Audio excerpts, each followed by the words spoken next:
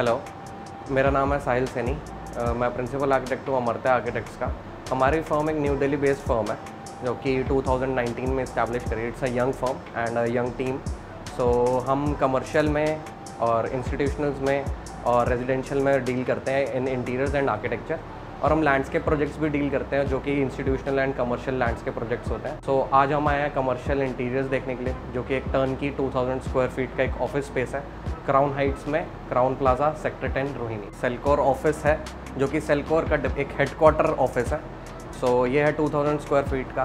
इसमें क्लाइंट की हमारी जो ब्रीफ था वो ये था कि हमें ज़्यादा नंबर ऑफ़ वर्क स्पेसेस नहीं चाहिए बट एक open feeling open floor plan type का हमें ऑफ़िस स्पेस चाहिए जो कि एक एमडी रूम अकाउंट्स रूम और एक बड़ा कॉन्फ्रेंस रूम जिसमें कि हमारे साथ तीन मैनेजर रूम्स और एक ओपन पेंट्री एरिया और एक फ्लेक्सिबल स्पेस सो हम स्टार्ट करते हैं रिसेप्शन एरिया से।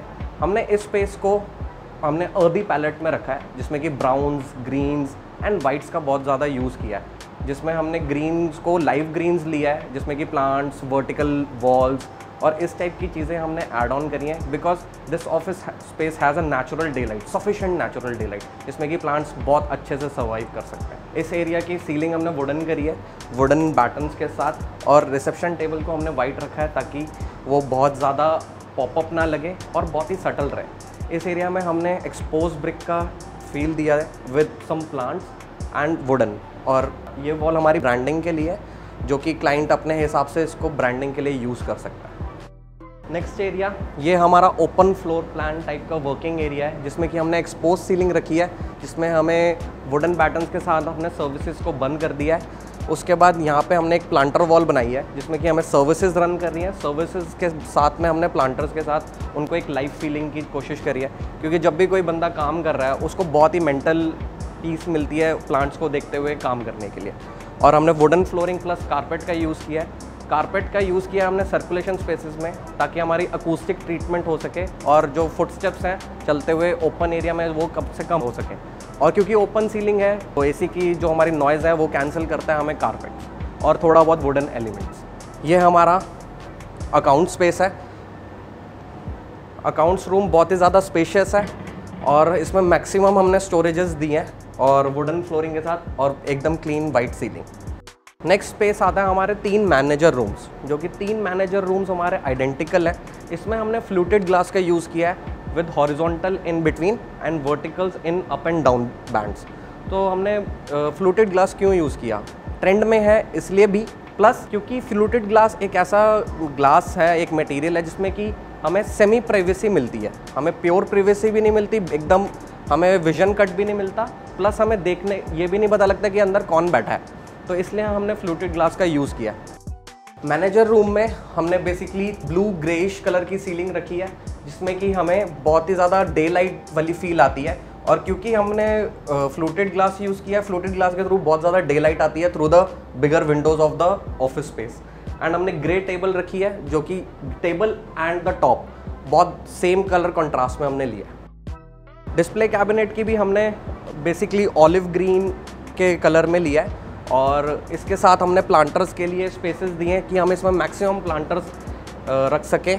उसके साथ हमने इसमें स्टोरेज स्पेसेस दिए हैं, जो कि अलग अलग तरीके से हम इसको यूज़ कर सकते हैं। This will act as a display cabinet for them because it's a mobile industry तो मोबाइल के जो मॉडल्स हैं या कुछ बॉक्सेज हैं या कुछ डिस्प्लेज हैं तो वो भी यहाँ पे हम डिस्प्ले कर सकते हैं। जो कि कोई भी अगर उनका क्लाइंट आता है, कोई भी अगर सेलर आता है तो वो देख सकता है इन अ बिगर स्पेस जो कि एक बिल्कुल हाईलाइटिंग एरिया है हम आते हैं अब अपने ओपन पैंट्री और flexible working area flexible meeting space की तरफ़। तो this is the open pantry जिसमें हम अपनी कॉफ़ी मशीन रख सकते हैं। यहाँ पे आके हम ब्रेक ले सकते हैं अपने काम से, थोड़ा बहुत टहल सकते हैं। So it will act as a breathing space so कभी भी हम काम करते हैं, हमें ब्रेक की बहुत ज़रूरत पड़ती है, जिससे कि प्रोडक्टिविटी इंक्रीज़ होती है। इसलिए ऐसे स्पेसेस की ऑफ़िस में बहुत ज़्यादा ज़रूरत होती है। और हमने सेवन्थ फ्लोर पे हम, यहाँ से व्यू हमारा बहुत ज़्यादा अच्छा है। और बड़ी विंडोज़ हैं तो हमने हाई हाई चेयर्स रखी हैं, जिसमें हम लैपटॉप्स पे अपने काम भी कर सकते हैं, हम व्यू भी एंजॉय कर सकते हैं, और we can have a cup of tea और कॉफ़ी और समथिंग लाइक दैट और this will act as a space जहाँ पे हम फ्लेक्सिबल मीटिंग्स कर सकते हैं, हम थोड़ा सा चिल कर सकते हैं, थोड़ा सा बैठ सकते हैं, शाम के टाइम में कॉफ़ी पी सकते हैं with the view that is the flexible space so ये हमारा कॉन्फ्रेंस रूम है, जो कि एक 16 सीटर कॉन्फ्रेंस रूम है।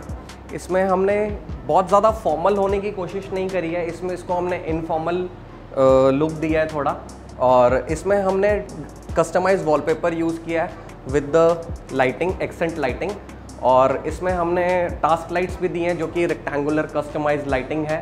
हमने कॉफर्ड स्लैब से इंस्पायर होकर कॉफर्ड सीलिंग दी है, जिसमें कि हमने सर्विसेज़ और सारी चीज़ों को इनबिल्ट किया है। और हमारी 17 फीट लॉन्ग टेबल है। जो कि काफ़ी एक अच्छा व्यू भी देती है. This is the TV unit area जो कि क्लाइंट खुद से इंस्टॉल करेंगे.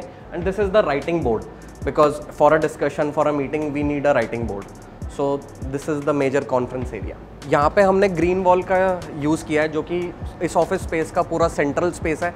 ये हमने full height almost full height हमने ग्रीन वॉल ली है, जिसमें कि हमने पैटर्न बनाया है और इसमें हमने बहुत हार्ड प्लांट्स यूज़ करे हैं. और क्योंकि यहाँ पर नेचुरल लाइट बहुत अच्छी है तो ये प्लांट्स बहुत अच्छे से यहाँ पर ग्रो कर सकते हैं। और ये एक तरीके से बैरियर है रेस्ट रूम्स का। तो ये है हमारा मैनेजिंग डायरेक्टर रूम इसमें हमने दो टाइप की सिटिंग इनफॉर्मल और एक हमने टेबल दी है जो कि मैनेजिंग डायरेक्टर टेबल है। सो so, ये हमने बहुत बड़ी टेबल दी है because they are the two brothers तो हमने यहाँ पे एक sofa with the accent seating and two chairs with the table so यहाँ पे हमने कुछ स्टोरेजेस कुछ डिस्प्ले कैबिनेट तो डिस्प्ले देयर प्रोडक्ट एंड वहाँ पे मंदिर है और जो टेबल अलाइंड है वो अकॉर्डिंग टू वास्तु अलाइंड है और पीछे से हमारी डे लाइट आ रही है। उसमें हमें प्रॉब्लम नहीं होती है रीडिंग में और उसमें। जो हमारी लाइट है वो कस्टमाइज लाइट है। कस्टमाइज लाइट हमारे इस तरीके से रखी कि स्टोरेजेस और अपना टेबल पे प्रॉपर लाइटिंग हो। और यहाँ पे हमारा टीवी कैबिनेट है, जो कि टीवी यूनिट आना है। और इसमें भी हमने कारपेट यूज़ किया फ्लोरिंग में ताकि हमारा इसमें जो आवाज़ है जो नॉइज़ है वो बहुत ज़्यादा काम हो जाए एमडी रूम में। सो so, आपने देखा टूर एक कमर्शियल ऑफ़िस स्पेस का।